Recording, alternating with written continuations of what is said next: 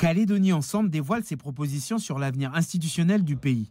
Dans un document de 48 pages intitulé Propositions de convergence entre Calédoniens pour un grand accord, Calédonie Ensemble, le groupe Uni et l'UC ont travaillé durant trois mois pour aboutir, selon Calédonie Ensemble, à un document consensuel.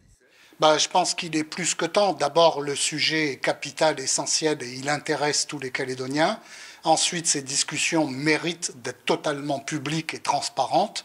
Et ensuite, elles méritent qu'on rende compte point par point sur les différents sujets des positionnements des uns et des autres. Oui, c'est plus que nécessaire et c'est exactement dans cet esprit-là que Calédonie Ensemble rend public aujourd'hui le résultat de ces trois mois de discussion.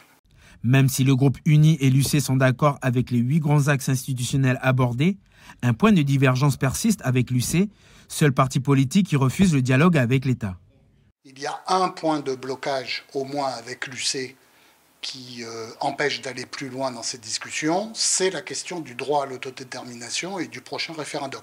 Donc de la même manière que Calédonie Ensemble avait rendu public sa démarche d'ouverture de discussion avec les uns et les autres, aujourd'hui, on rend compte du point d'étape auquel on est arrivé dans ces discussions, en espérant qu'un nouveau cycle de discussion puisse, puisse s'ouvrir pour parvenir à une solution pleinement consensuelle. Le parti politique créé par Philippe Gomez réitère son appel du 2 novembre 2023. Les membres appellent les partis indépendantistes et non indépendantistes à participer aux discussions entre Calédoniens Enfin, Calédonie Ensemble souhaite également que le document soit saisi par l'État pour s'en inspirer et façonner la future trajectoire institutionnelle de la Nouvelle-Calédonie.